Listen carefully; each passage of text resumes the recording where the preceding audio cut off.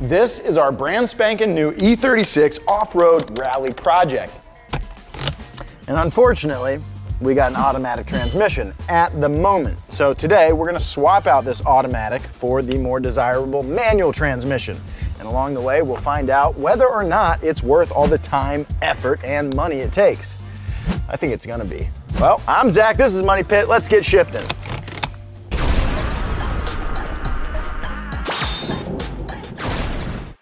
Thanks to eBay Motors for sponsoring this new season of Money Pit. Did you know eBay Motors is one of the only websites where you can actually buy a car and all the parts you need? Facts. Take this transmission, for example. All we had to do was enter in the vehicle's info and boom, like magic, we found the exact part we needed. And you can trust that it's the exact part you need because eBay has its proprietary web feature called Fitment which guarantees any part you order fits the car you're searching for. So don't waste your time online. Get exactly what you need by going to the link in the description below. Now, let's get back to our newest money pit.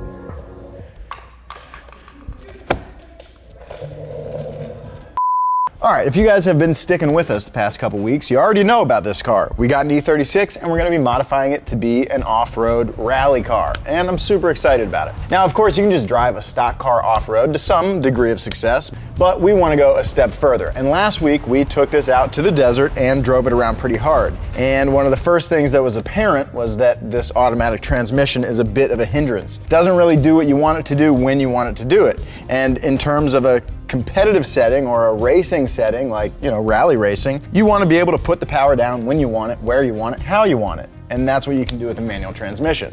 And that kind of begs the question why we even bought an automatic car in the first place. Am I just hard up for episodes? Well, no, not really. The fact is that the E36 market is insane these days, and it's hard to find a five speed example for a decent price that hasn't been absolutely abused. So if you wanna pay not an arm and a leg and get an E36 that hasn't necessarily been abused, well, you're kind of looking at automatic cars these days. So if I've convinced you that an automatic E36 is a good way to get into an E36 or really any project car, as long as you can then swap it to a manual transmission, well, you might be wondering, how do you go about swapping it to a manual transmission? What do you need? Well, you need this stuff. Obviously, you're gonna need a manual transmission itself, but that's just the start of it. Then you need a way to couple it to the engine, and an automatic transmission doesn't use a clutch and flywheel like a manual transmission, so you'll need a clutch and flywheel.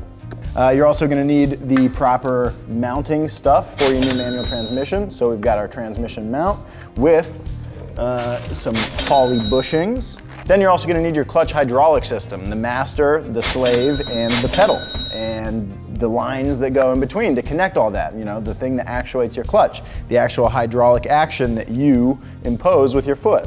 So we've got all that stuff. Then you'll also need a new drive shaft to connect your new manual transmission to your diff. Uh, usually the length of the manual transmission is different than the automatic, often shorter, so your drive shaft will ultimately be longer.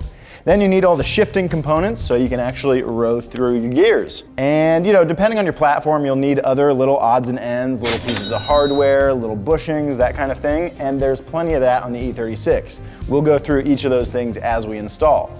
But this is the meat and potatoes of it. These are the big parts, and this is pretty much what you'll need for any manual transmission swap. The trans itself, the clutch and flywheel, the mounting stuff, the shifter stuff, the drive shaft, and the pedal set. So let's see if that proves to be true or if I'm forgetting anything. I hope I'm not.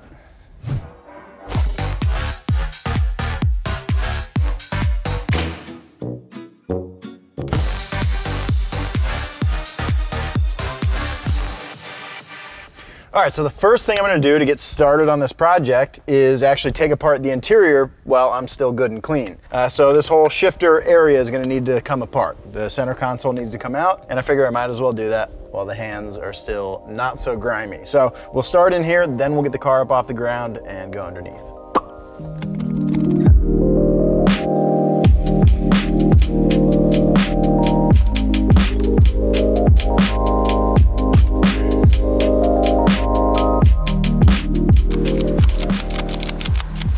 Are officially done with this piece. And that makes me feel nice.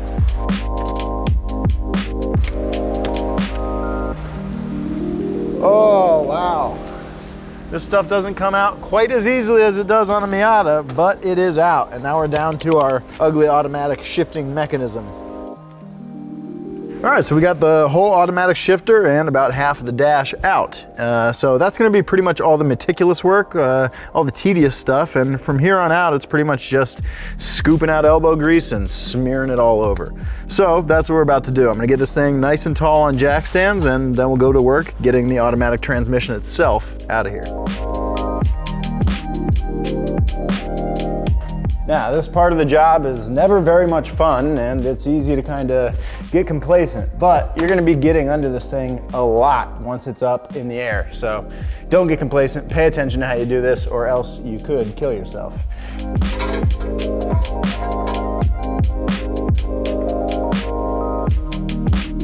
All right, well now we got the car up in the air, as you can tell, because I'm under it.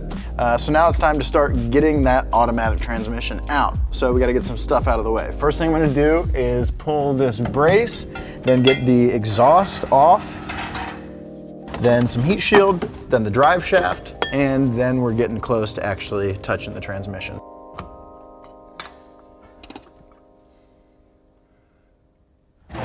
You know, I meant to do this uh, first thing when I jacked the car up, but at least I remembered before, you know. Spill it everywhere. Yeah, you know, I don't even know if these spill out with the way the output of the trans is, but I want to find out the hard way. All these automatic cars also have an automatic transmission cooler, so that is an additional thing that I'll have to remove. Probably no big deal. I can see the lines right here. Uh, gotta go though. Got to go. So, look out for a transmission cooler. All right, so now I am gonna take inventory of all the bell housing bolts I can see so I can kind of put a game plan together and determine, you know, when is the right time to start tipping the uh, transmission. I'll probably get as many bolts as I can easily get off as is off. Then we'll come back here and remove the trans bracket and hold this puppy up with just the jack. Then once it's being supported at the rear by the jack, I can let the jack down or up, depending on what I need, to tilt the whole engine and transmission to hopefully give me a little better access to some tough to reach hardware. I mean, there's really nothing left to it but to do it. So, shall we?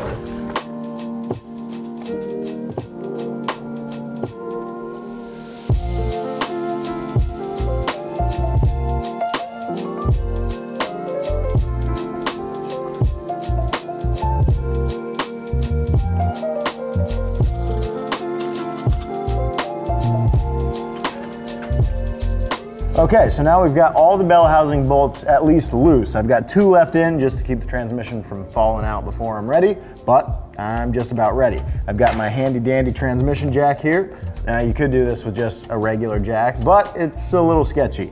Uh, one of these makes it a little less sketchy. So I'm gonna ideally wrap this chain around the top and lash it to my platform here, put the platform nice and tight up on the bottom of the trans, and wedge this puppy out. No big deal.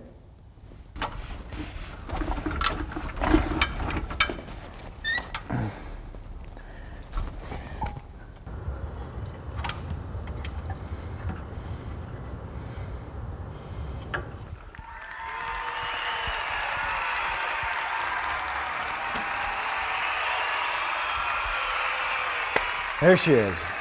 As easy as that. I mean, honestly, yeah, there was some elbow grease involved, but it's kind of to be expected. But it's definitely doable. See? So now we've got a lot of stuff to put back in. The first thing we're gonna install is the actual clutch pedal itself. I guess it's just a vent. Does that make sense?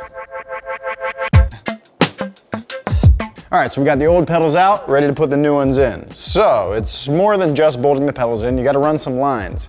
So one line, this soft line, will come up to our brake reservoir here and catch some brake fluid to come down to our clutch master cylinder. That's what this system operates on, brake fluid. So there's a little nipple hanging off the backside of our reservoir here that is not open. It needs to be cut so that uh, fluid can flow through it. So I'm gonna cut that and then this line will come up to that reservoir. Then this hard line will go out and down to the transmission, to the slave cylinder, and that's what will operate our clutch. So we'll get those lines run, get these puppies bolted in, and then we're off to the races.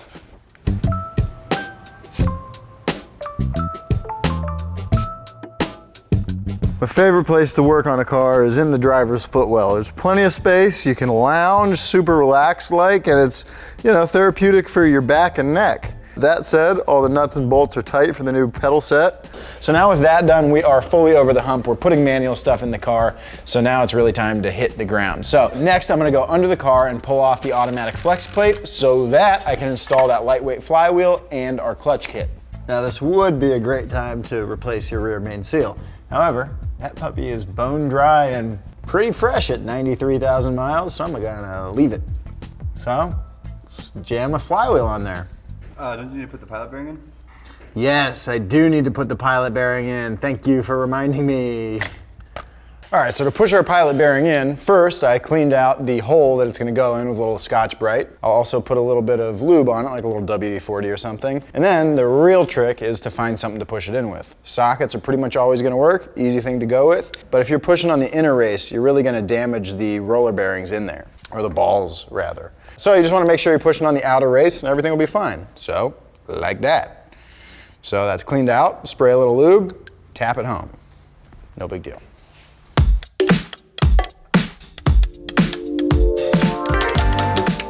Good. That's a pilot bearing installed, and we didn't even forget about it. Now where's that flywheel?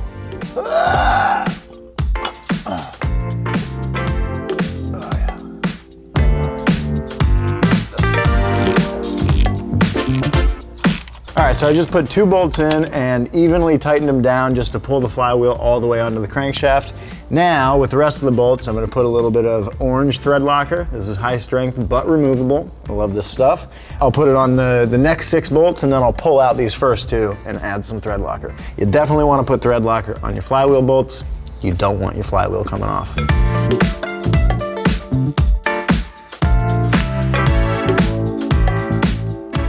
So as you torque down these bolts, you're naturally just gonna spin the engine, which makes it pretty hard to torque them down. Now they make tools that'll lock into the flywheel teeth and you can attach to the engine. You can also use a pry bar. Now these teeth are only responsible for starting the car. They only interact with your starter. So don't be too worried about a tiny mar here and there. It's not that big of a deal, but you're gonna have to do something to keep it from moving.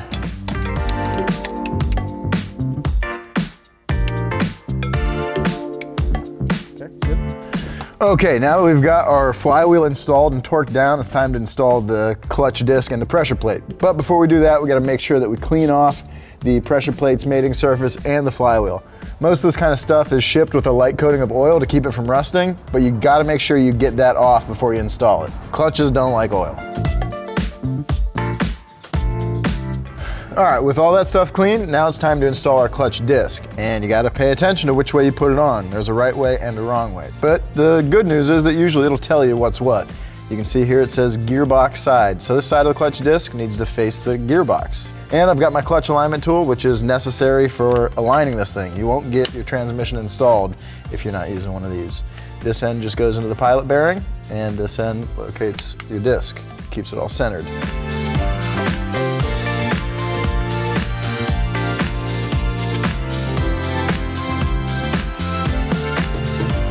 So with the hardware started, now we're gonna tighten it all down evenly to tighten our pressure plate in an even manner. Now we torque. You know what I'm talking about? uh.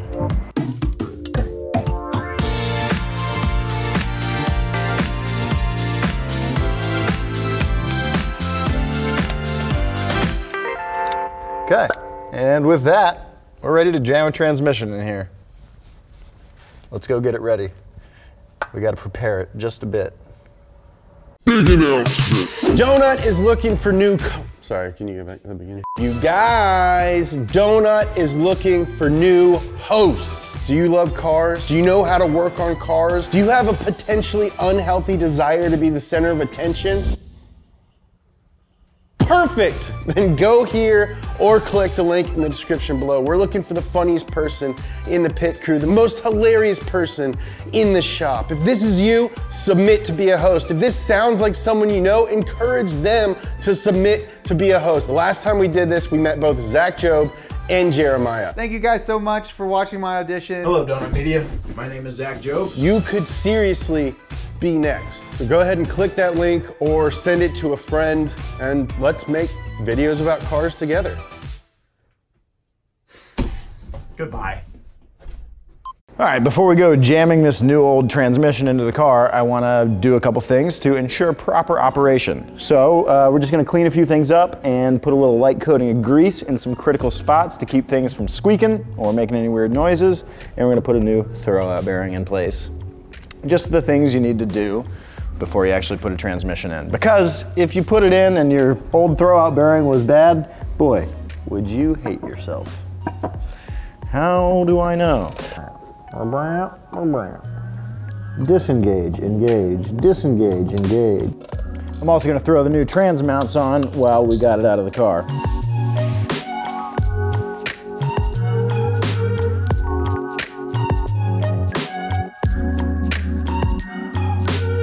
All right, so with that, that's all the prep work we needed to do for the transmission, and it wasn't very much. That was pretty easy. So now we just gotta put the transmission in the car.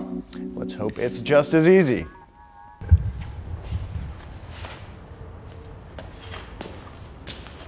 That's one way to do it.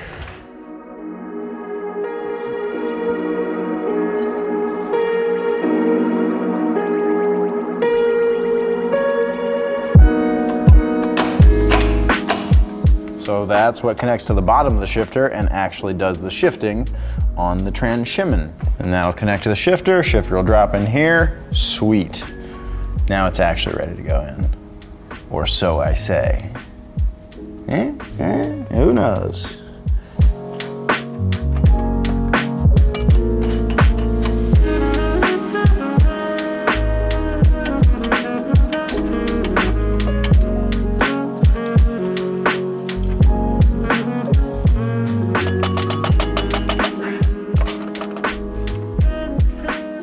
I think I'm on my last bell housing bolt, the last bolt uh, for the starter. And then, once that's done, you can pop the shifter arm into place, get the rear trans bracket back on, hold the trans up, and then do things like drive shaft and shifter from the cabin. And we gotta put our slave cylinder on and connect it to the lines we installed earlier. And we're in the home stretch though, you could say. Okay, now that we've got our shifter connected to the transmission, it's time to actually mount the new shifter to the shift arm. So I just need to cinch this collar underneath the lip on this arm and uh, we'll be in business. Okay, so the shifter assembly itself is installed. Now we just gotta put our shifter on. The uh, final piece of the puzzle, most exciting piece.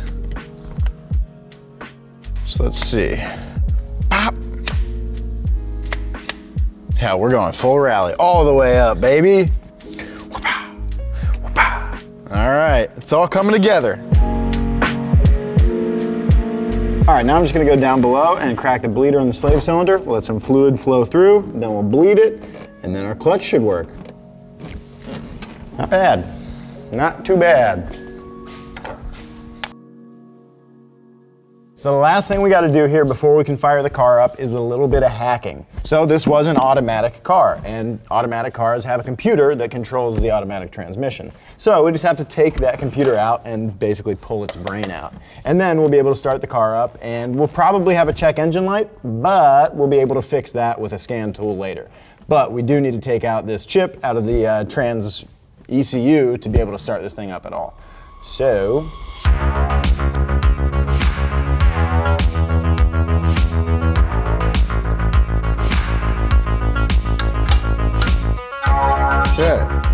Obviously, this is not the way to work on an ECU that you care about, but I don't care about this thing. I don't need it to do anything. In fact, that's why I'm trying to turn it off.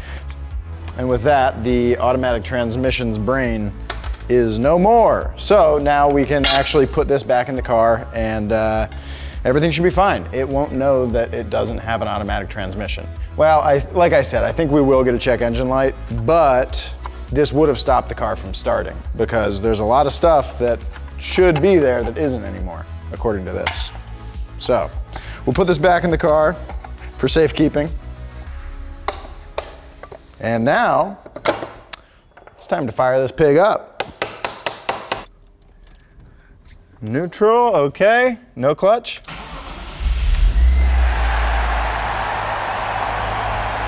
Wow, what a babe.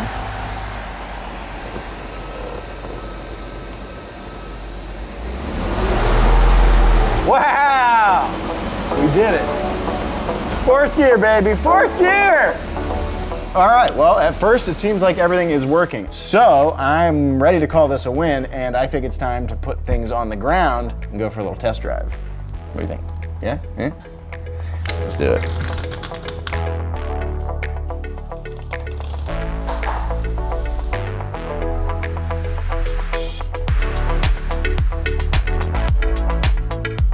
Feels like a manual car. Need a garage door opener. Everything feels smooth out the gates. Just sitting in there, the uh, transmission shifts really nicely, nice and smooth.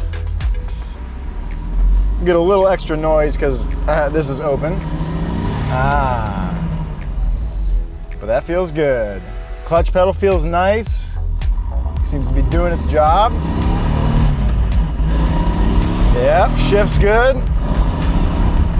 Ah, and you know, something that I'm really excited about that I haven't actually talked about yet is we're getting a little bit of a, almost a bump in power with this swap.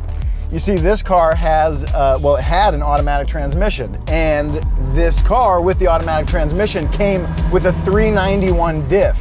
Now that's a pretty short ratio. It works great with the automatic, but with the manual transmission, it ends up being a pretty short ratio. Now what that means is that this thing is gonna wind out a lot sooner. Our top speed is gonna drop, but it's gonna feel a lot torqueier while we get to that top speed. So even though we didn't change anything with the engine, this thing got a lot faster uh, in terms of like, you know, the kind of driving we're gonna be doing uh, off-road. You know, we're gonna be not really looking for top speed. I don't care about going 140 miles an hour. This thing will probably top out around 120 now but it's gonna get there a lot quicker than it did with the automatic transmission. So, since we've got the manual and the 391 diff, this thing feels a lot quicker. Sure, it wasn't easy. There was a lot of grunt work. I got as dirty as I've been in a while. But now I've got a manual E36 and it's in great shape. This car, as is, would probably cost me easily 2,500 to $3,500 more than I paid for the car. And I paid less than that in parts. Sure, it took some time, but you know, you learn a thing or two along the way and it's kind of fun. So I would say that buying an automatic E36 and manual swapping it is a great way to get yourself the E36 of your dreams. This used to be an automatic and now it's not. What could be better? So I hope you guys agree. Let me know in the comments what you think. If manual swapping a car is worth all the time and money it takes. Thanks for watching. I will see you guys next Wednesday. In the meantime, don't forget to go follow me on Instagram at Zach Jobe and follow Donut at Donut Media. And please don't forget to like this video. It's how YouTube knows that we're doing at least a decent job at our job, which is making videos. So please like it, subscribe to the channel, and come back next Wednesday for more E36 stuff. Traction control. Oh, what a loser.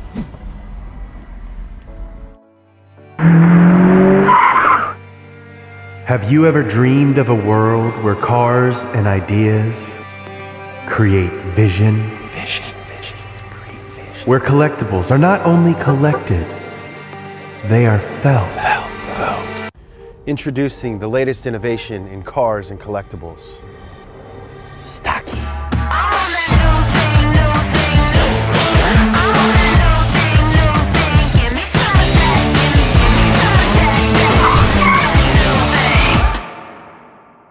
Stocky is a first of its kind designer collectible, the ultimate gift for a car nerd, and an officially licensed Acura product. So turns out that creating a collectible is not easy or cheap. It's been a very long process, but we're really stoked with how it turned out and we hope that you guys are too. Just like everything with Donut, the only way that this is successful is through you guys. I mean, you guys are the only reason we're anything at all. So we're launching this on Kickstarter. We wanted to make something the perfect size to display on your desk, next to your TV, in your dorm room, in the shop, wherever. We explored a ton of different deformations before finally landing on this, something that we think is the perfect mix of fun and stylized while still staying true to the original car. Speaking of the car, for oh Stocky 001, we knew that we had to go with one of the most iconic and legendary tuner cars of all time, the DC2 Integra Type R. We're launching this in a bunch of sick different colorways, everything from OEM finishes like Phoenix Yellow, authentic Honda Championship White, and Nighthawk Black Pearl, to crazy versions like Primer Gray, Glow in the Dark, Translucent. We're even gonna make a gold one, like actual gold, from the ground. You only got two weeks left to get the launch edition. Get yourself a stocky, get your friend a stocky.